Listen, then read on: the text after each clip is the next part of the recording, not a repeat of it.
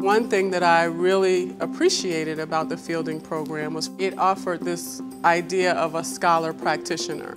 I'd been working in the field for some time and wanted to really utilize my experience and knowledge and expertise and combine that with a scholarly experience.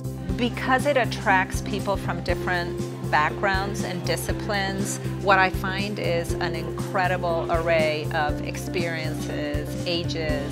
What they all have in common is this zest to learn, but also to develop their own ideas. There's a lot of choice in the way we choose to journey through it and the, way we choose to engage. We call out our professors by their names and there's a lot of flexibility. We can choose our own knowledge areas and then choose the professor that you could study it with.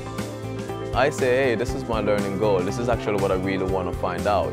And so I have a lot of freedom in designing my learning around that and how I demonstrate my learning. So that's me. That's what I want. You know, and then obviously my faculty, my assessors are there to provide the, the guidance to making sure that I'm also developing the, the core competences around being a doctoral student and a PhD.